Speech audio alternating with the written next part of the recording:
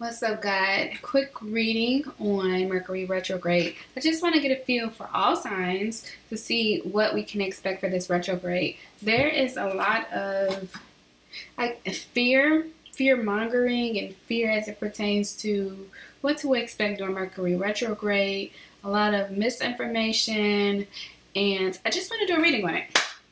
So, this tarot reading will be getting insight into what we should expect from Mercury retrograde and any advice Spirit has for us as it pertains to it. So, without further ado, please like, subscribe, comment, share. Did something come already? Dang, I know I heard something try to come. Please like, subscribe, comment, share. And before I pull the tarot card, I want to pull the energy. Um, do I want moonology or do I want energy? I might pull both.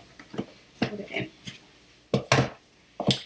So, like, subscribe, share, comments, whatever. Thank you for watching. Alright, so let's see what Mercury retrograde has for us overall. Ooh, that flew out balance, spirituality, and practicality. Full moon in Pisces. Release negativity. It's time to release negativity. Full moon in Scorpio. Okay, so this retrograde period is during that of Scorpio. We know um, Scorpio is karmic energy.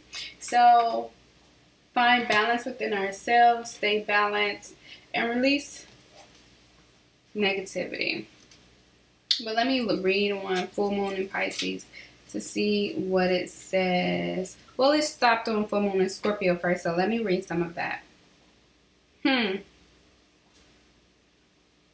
It's time to release any negativity you you have around the situation you're asking about. That is so perfect for this reading because I see a lot of negative comments and a lot of negativity regarding Mercury retrograde. And I can't imagine that it's so negative. We know that it impacts technology and communication and things of that sort. But some of the stuff that's being said is just like, why are you telling people that? That's, you know, I don't know how true that is. So that's what this reading is about. But anyway, First and foremost, release negativity in your life and release negativity as it pertains to this retrograde. It's not negative.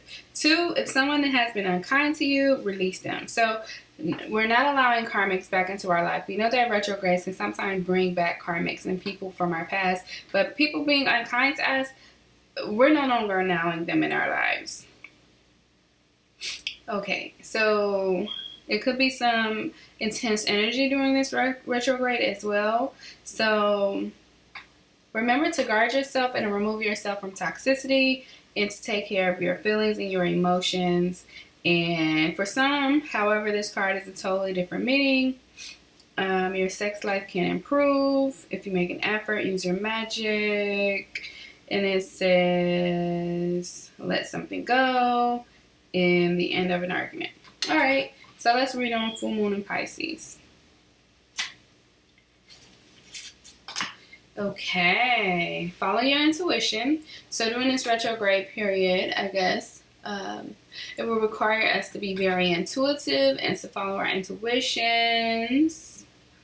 If you're in a tricky situation, drop the act. Move towards your goals take practical steps towards our goals and find an inner balance between spirituality and practicality, meditation, and reality.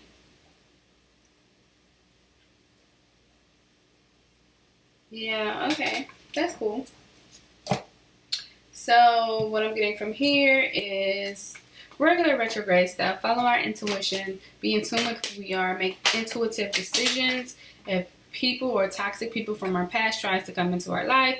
We're releasing that negativity. We're not allowing it back into our lives. And we're protecting and guarding ourselves against toxicity of the past. Caring connections on the bottom of the deck of the energy oracle card. Adding that caring connections.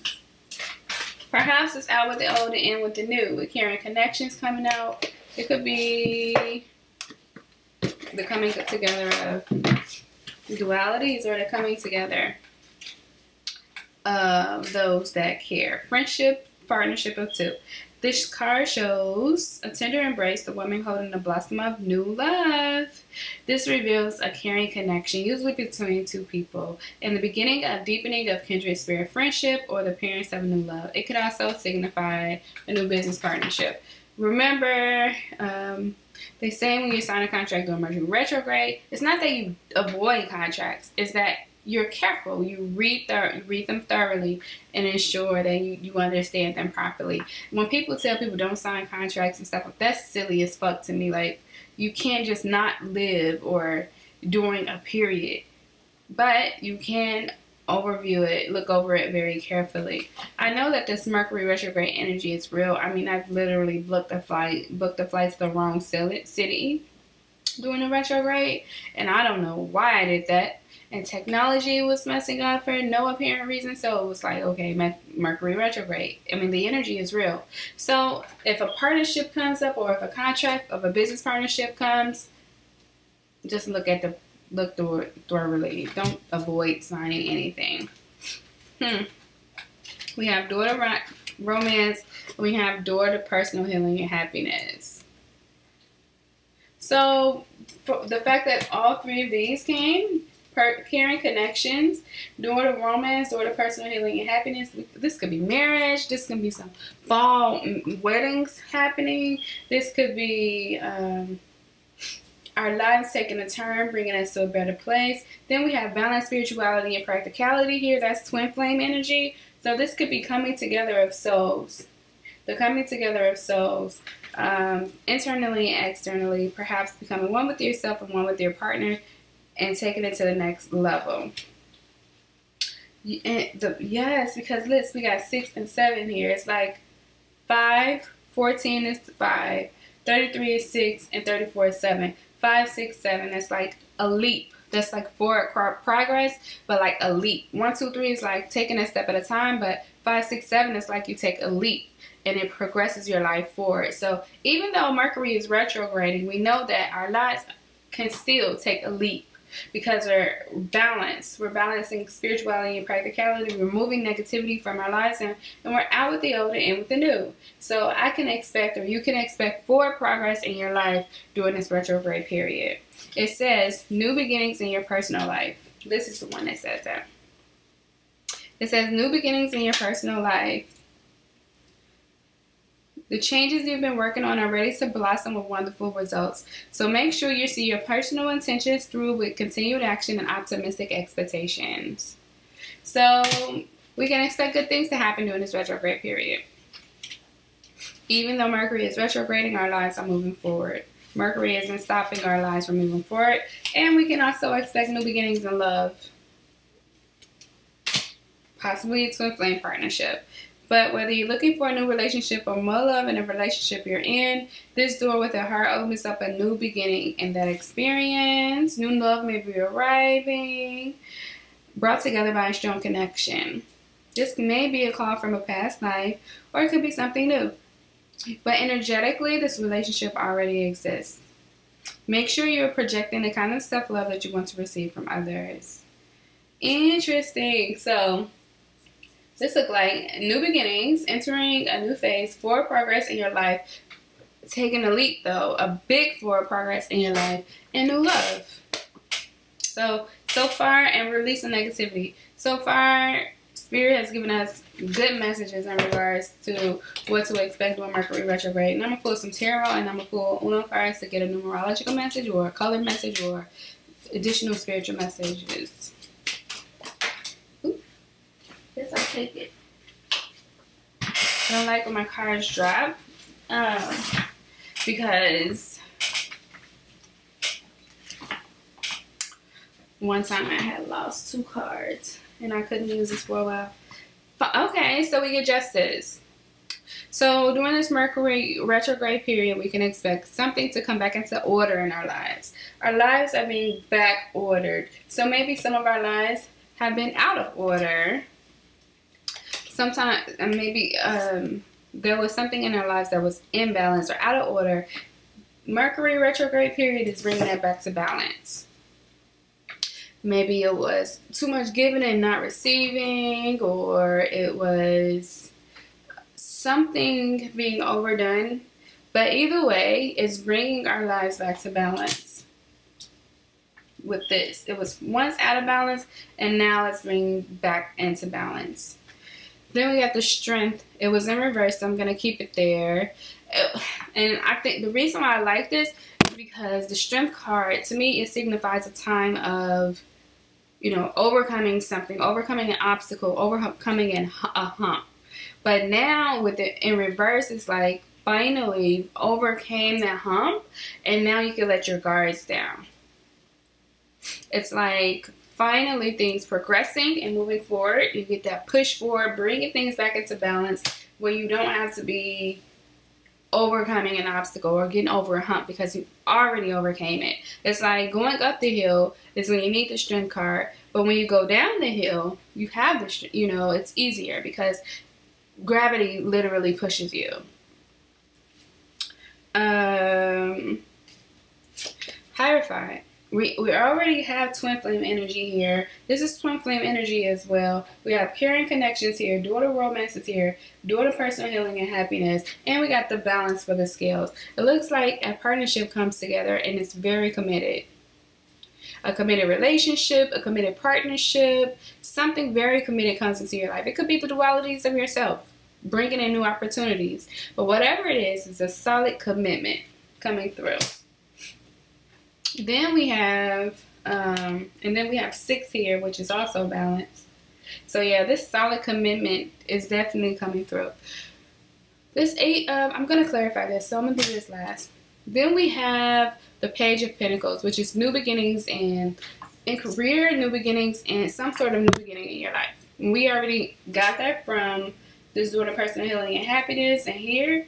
So we can expect some sort of new beginning. And when we release the old and release the toxic energy, we make room for more positive things and more positive people. When you let go of people from your past, you make room for better people for your future or at least better people for that time period. So far, this is all good energy for retrograde. And we're warned not to allow toxic energy in. So let's figure out, let's pull clarifying cards for this Eight of Swords because what is that about? I can say that it's about um, overcoming obstacles and being set free. But I, I just don't want to seem like I'm being overly positive. I'll take them. I want to. I want it to be about. Um, I just wanted more clarification. So now we have the world everything coming full circle. I like this card because it's like sitting on top of the world. And guess what? It's right under their justice. We are getting justice, baby. We are finally getting the justice that we deserve. We're getting justice. That That's twice so far that I've seen the justice card. But we're sitting on top of the world. Why? Because things finally manifested. Things finally happened for us. And I'm glad I did this reading because psychologically and subconsciously, sometimes with all the messages online and all the people, we can start to think that negative things are going to happen because it's retrograding. Mercury is retrograding. But no, we're still sitting on top of the world. Still.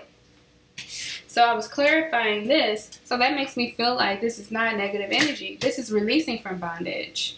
Transition. Yes. Okay. Let's talk about this. Death and a transition. So it's like things ending and things beginning. A transition. Your life transitioning from again the old to the new. New beginnings. Transformation. Um, balance. Just a new way of living. A new way of life. A life transition period. And not transitioning in the, in the sense of this could look like a loss this could look like a loss. With the Five of Cups here, and the Death card and the Transitioning card, this could look like a loss, but I feel like this is, um, and then with the Four of Cups here, so it's like Four of Cups, Five of Cups, Six, uh, Four, Five, Six, Four, Five, Six, Four of Cups, Five of Cups, Six of um, Swords, and the Death card. Endings and new beginnings. Endings, new beginnings um, bringing everything full circle, a cycle being completed and moving forward in your life. So I just want to look up four, five, six. So far we got five, six, seven, and four, five, six. So we're definitely taking a leap. And it's not a leap of faith. It's a leap in our life. It's a leap. It's a progressive leap in our life. You cannot make this shit up. What does that say? It says angel number 456 can suggest a promotion, pay raise, or career change. Trust that these positive changes have been divinely guided. Indicates your actions and intentions to change your life for the better are supported and encouraged by the angelic and spiritual realms. So again, progression. We're progressing. So this this tied up energy here is a don't allow yourself to be tied up mentally when things start changing because it's positive. It's it's for the, your good. Um, trust that these positive changes have been divinely guided. So it's no reason to feel all tied up. It's no reason to be in bondage mentally, spiritually, or physically because these changes, this transition that's happening in your life is divinely guided. Yeah, four, five, six. Um, is a divinely guided change and promotion. So whatever happens in this Mercury retrograde period is divinely guided and you're being promoted. It's transforming your life. And I just want to look up, um, even though I know I already said what it was about, let's just see what this says. Ooh. Angel number 567 is a sign of positive progress, spiritual awakening, and advancements on all levels. Remember I said it's like a leap, it's like a push. It's like you're pushed into a spiritual and, and physical um, progress in all levels of your life. But it says continue to apply your commitment towards being your true self and others. So, and it relates to angel number nine, which is divine blessings and divine guides and divine gifts. So it's like four, five, six, progress, pay promotion in your career, five, six, seven, a promotion in all aspects of your life. Forward movement in all aspects of your life. Becoming one with the dualities of yourself. Lots of twin flame energy here. Being committed to your true self and um, spiritual awakening progress. This is all positive changing, positive changing changes coming into our lives during this Mercury retrograde period. So it's really nothing to worry about. It's it's definitely going to be good for us and a very positive change for our lives glad I did this reading because I really need to reassure myself. Sometimes we have to protect ourselves against the spells cast upon our thoughts. With all the chatter it is online and the misinformation about people who are just learning about Mercury retrograde, now it's like you, my mind can be put at ease because we can expect new beginnings, we can expect transformation and forward progress on immense levels during this period. Okay, guys, thank you for your time. Thank you for watching this video all the way through.